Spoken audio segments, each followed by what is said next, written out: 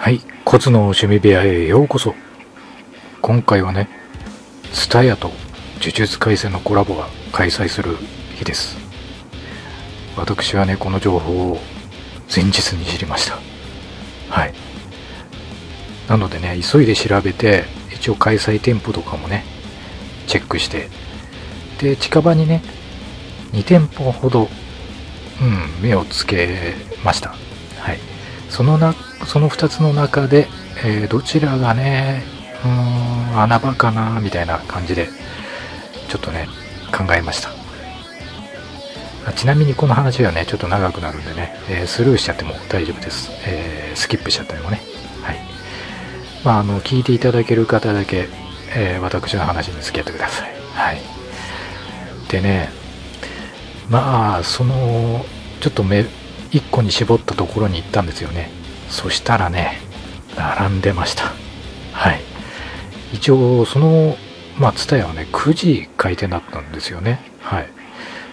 でまあ開店直後ぐらいに行ったのかな。はい。一応バイクで行ったんですよね。えー、で行っても着いた頃にはもうオープンしてたんですけれどももうすでにまあ10人以上は並んでましたね。まあ、ほぼ女性。ほぼっていうか、自分が行った時点では全員女性でしたね。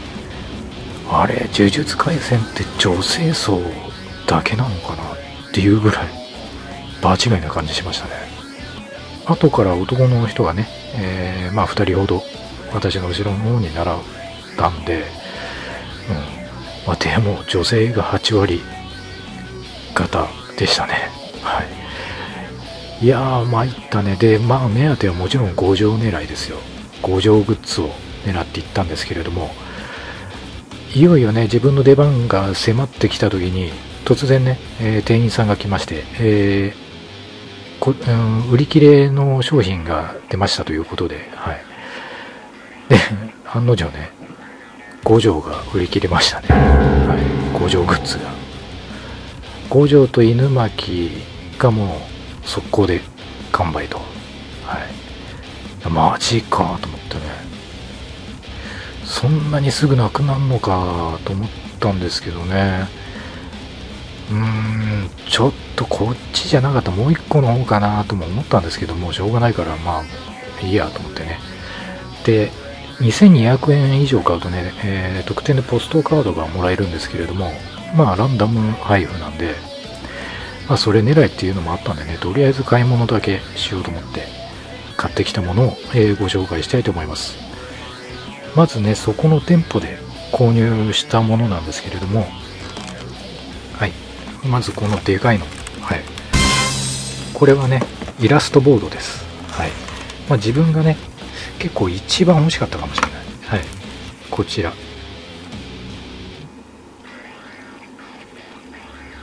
いや、いいね五条先生かっこいい。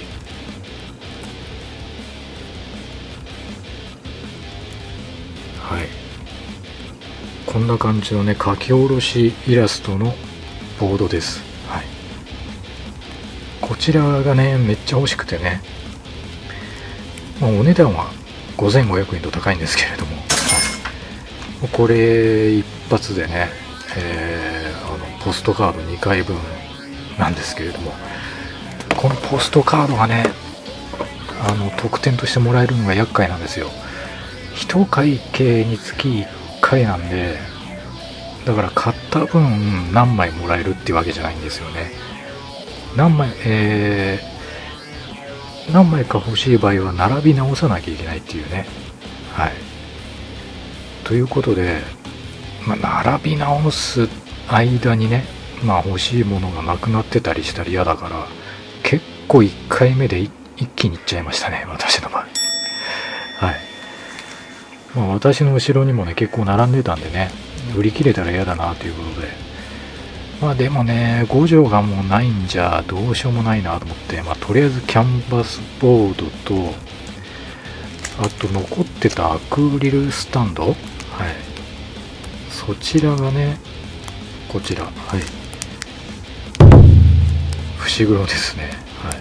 伏黒が、2パターンあったんですよねだから多分前回のだと思うんだけど自分知らなかったんでねああ2パターンあるんだと思ってね、まあ、前回と今回のイラスト違いですよね、うん、なので多分そこの店舗はね前回のと今回ので2種類あったみたいなんですよね。はい。でとりあえず余ってる中でね欲しいと思ったのは伏黒だったんでこの2つは買いました。はい。あちなみにこういうキャラクターものはねお一人様1点のみです。はい。まあ1点1点のみって言ってもこういうパターン違いはいいんですけどね、うん、ブラインドのものに関してはお一人様お一人様2つまでというね制限付きだったんですよ。はい。で、えー、缶バッジですかね。はいこちら。缶バッジ。全7種ブラインドなんですけれどもこちらをはい2つまず購入しますね。はいこちら。アクリルキーホルダー。はいこちらもブラインドなんでね、えー、2つ買いました。でこちらのアクリルキーホルダーこれはもうんもう一つかな？多分前回のと混ざってんだと思うんだけど分かんないんだよね、うん、でも内容入ってる内容が違ったんで、まあ、別物と考えてねこちらも2つ買いました。はい。とりあえず会計しましてでポストカードもらいました。ポストカードそのまんまなんだね。素で渡されましたね。はい。で1回目がこちら。はい。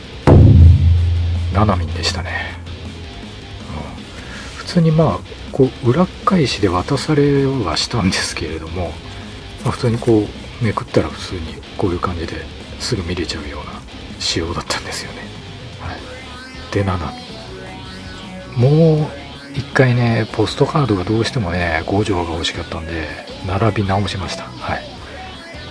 でまた巡ってきて買ったのがえー、こちらですね、はい、これはねデカキャラミラーっていうね、はい。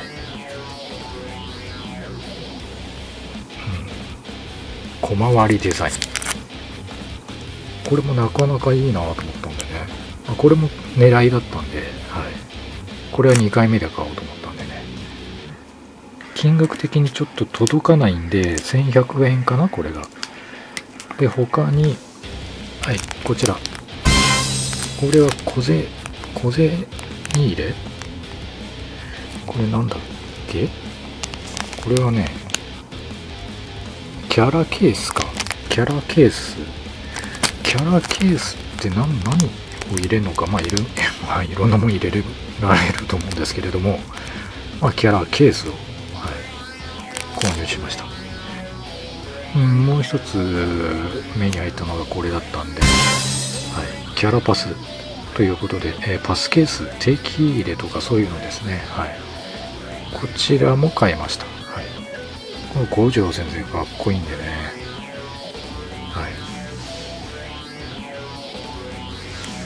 会計して、えー、また素で渡されました、はい、それがこちら。虎杖でした。いやー五条先生来ねえかと思ってね。うん。さすがにねちょっと失敗したなとここで思ったんですよ、まあ、こんだけあの買ったら、2万円近くかかったんですよ。これ5回ぐらいに分けりゃよかったなと思ってね。そうすればね5万円もらえたんだけどバカだから1回の会計で結構使っちゃったんですよね。はい。なのでもう個数制限もありましたし買うものがなくなったんでこれで打ち止めにしました。はい。いやまさか五条先生そこでまあなくなるとは思ったけど、まあ、多分自分が行った時間帯だったらまだ残ってるだろうと思ったんだけどね。いやまさか直前でね亡くなりましたって聞かされた時はマジかと思いましたね。でもやべえもう1店舗の方が行った方が良かったかなと思ってね。でちょっとね電話しました。まあそこはね10時オープンだったんですけどもう自分が電話した時点ではもう9時50分だったんですよ。はい、まあ、要は50分ぐらいまあこっちの伝えにいたってことになりますね。うん。でまあもう諦め半分だったんですよ。もうボスのカフェオレを飲みながらね、うん、もう感傷に浸ってました。はい。で電話で聞いたらねまあ9時50分だったんですけどまあ電話には応対してくれて、はい。で、呪術廻戦のグッズ発売してると思うんですけど、並んでますかって聞いたんですよね。まあ、そしたら、そうですね、10人ぐらいは並んでますかねって言うんで、10人 ?10 人？あれ？これいけんじゃね？えと思ってね、ちょっとそっからね、バイクでも15分ぐらいかかる場所だったんですよね。だから普通に考えても10時着いたとしても10時10分15分ぐらいにもう着いちゃうんでもう開店して15分後ぐらいになっちゃうんですよ。いやーこれどうかなと思ってね、まあ、一か八か行きました。はい。でねそこでそこはねあの、個数制限なかったんですよね。うん。1キャラクター1個とかそういうのもなかったんですよ。はい。なのでえっと思ったんですよね。しかも入り口入って左すぐ左側にコーナーがあったんですけどめっちゃちっちゃかったんですよコーナーが。あここ？と思って。まあしかもそれはもう前回のはなくて、まあ、今回のだけだったんででコーナーがちっちゃくてもう人もねうんまあ23人いたぐらいでしかもアクリルスタンドに関しては全キャラクターありましたね。最初からこっちだったと思ってねもうめっちゃ後悔しましたよ。でとりあえずね全キャラクターあるということははい。五条先生ありましたよスタンド。はい。1760円。いやこれは嬉しかったね。来てよかったと思ってね。はい。よしと思ってねこれだけじゃちょっとポストカードもらえないんではい。缶バッジ。缶バッジを買いました、はい、これで2200円いくんでもらってきました。はい。それがねなんと私家に着いてから気づいたんですけどジャンパーのポケットに入れてたんですよね。はい。それがねあのー、袋に入れられてたんですよそそこの場所は。はい。でもまあ透けて見えるんで見たら釘先だったんですよね。はい。ああ釘先かと思ってねとりあえずまあジャンパーのポケット入れたんですけど帰ってくる途中に吹っ飛んじゃったみたいで どっか行っちゃったんですよね。うわーと思って。まあ5畳じゃないだけ良かったなとは思いましたけれども、まあ、でもななくしたのはちょっとつら辛いよね。ええと思って。なんで俺ポケットなんかに入れてたんだろうと今更ながらに思いましたけどね。はい。なので釘先、えー、消失しました。はい、ポストカード 1, 1個ね1枚なくしましたね。でもう1回並び直しまして一応ねまたポストカードをもらおうと思ったんで、えー、そこで購入したのがまたこちらミラーと、えー、ブラインドの、えー、アクリルキーホルダーと缶バッジ、はい、こちらを買ってもう1枚もらいました。はい。それがねこういう形でもらうんですよ。はい。まあ、一応そこ成文館書店さんだったんですけれども、はい、こうやって渡されるんだけどこれ透かして見えるんですよ。こカメラ越しじゃわからないんですけど透けて見えるんですけど2個目が、まあ、要は合計3枚4枚目か。4枚目ははい。ナナミンでした。ナナミンかぶりましたね。はい。いやマジかと思ってね、まあ、五条先生出ませんでした。はい。結局。もうお金が尽き尽きちゃったんでね。ええもう打ち止めです。はい、まあ、とりあえず五条先生のねアクリルキーホルダーが手に入っただけもう大満足して帰ってきましたけどね。はい。まあその道中でどっか飛んじゃったんでしょうね釘先いや悲しかった。ということでねとりあえずこのブラインドのやつをね開封していきたいと思います。はい。はい。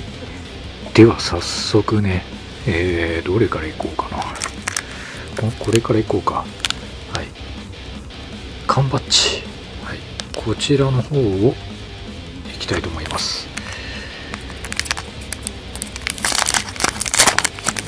うんとこっち向きだね。よし。いきます。もちろんね5条狙いでいきます。来てくれ。せーの。あ板取りだね。まあ、今回のイラストのやつはね、はい、ダドリ。はい。では2枚目。2枚目2つ目。いきます。五条先生来い。せーの。あ来た。来た。嬉しい。これはマジで。やったぜ。引きいいなこう最近引きいいな。最近引きいいのか、うん、いやこれ嬉しいマジで。やった五条先生来た。はい。では3つ目いきます。成文館書店さんのやつが値札が貼ってあるから分かりやすいね。ではいきます3つ目もうねもう1個工場欲しいねいきますせーのいやダブルかないやダブルだったら五条先生がいいんだけど板取り板取りかうんまあしょうがないねはいこちらのね多分これは最初のとこで買った第1弾第2弾のやつが混ざってるやつだったんで多分第1弾のやつかな？この缶バッジ。はい。これは2つなんでね。はい。2つ開けていきたいと思います。こっちだな。よし。もちろん五条狙いで。いきます。せーの。板取り。板取りしか出ねえな。というか板取り率がすごいな。これが前回のあれですね。イラスト。はい。では2つ目。いきます。恋五条。せーの。あー伏黒でしたね。はい。伏黒。2つ目は伏黒。さすがにそううまくはいかない。はい。で次はアクリルキーホルダーこっちはね多分こっちのアクリルキーホルダーと大きさが違うんでこれ第1弾だと思うんだよな。は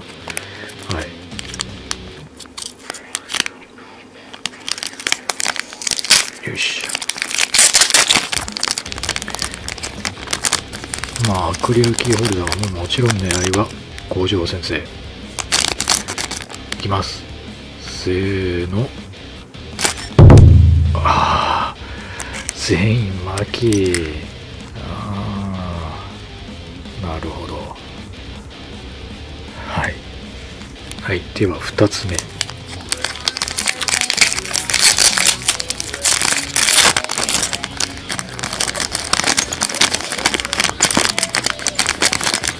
よしいきます。2つ目。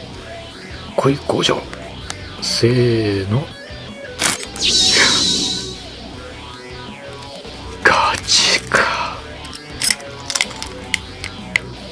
嬉しすぎる。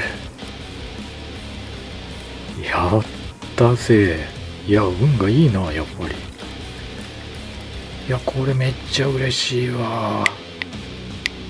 やったね。五条先生。やった。はい。はい。続きまして多分第2弾ですね。はい。こちらはね、えー、最初の店舗2つとあと成分館書店さんの1個計3個いきいきます。はい。なぜか成分館書店さんはねなんかすっげえもっこりしてんだよな。はい。ではまず 1, 1個目。よしいきます。来い。五条先生来い。いきます。せーの。板取り。板取り率たっけえな。板取りでしたね。はい。はい。2つ目。いきます。せーの。あ犬巻。犬巻トゲ。あこれはいいね。犬巻も結構人気ありますからね。うん。私も好きですね犬巻はね。はい。で成分館書店さんのもっこりしてるキーホルダー。なんでこれもっこりしてんだ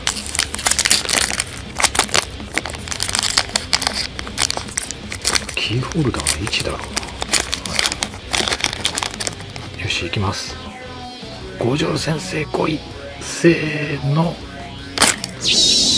マジですか。すごくないっすか。五条先生率高いぞ今回。いやマジ嬉しいこれ。ガチか。やったぜ。報われるねほんとね。ポストカード外した分報われたね。は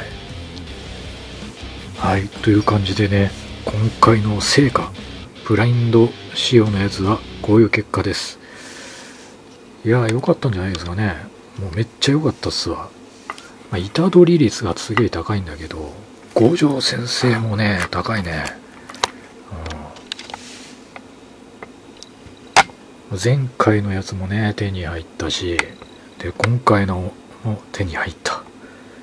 いやこれは大当たりじゃないですかね。いや、よかった。散財した甲斐がありましたね。結構、使っちゃったからな。いやこれは、すごい良かった。いや結構あっち行ったりこっち行ったりでね、うん、もう、バイク走らせましたけど、うん、苦労した甲斐がありました。はい。まあ、2店舗回った分、ですね。はい。まあ、店舗によってはね、抽選販売とかそういう形式をとってるみたいなんで、やっぱ相当人気なんでしょうね。うん。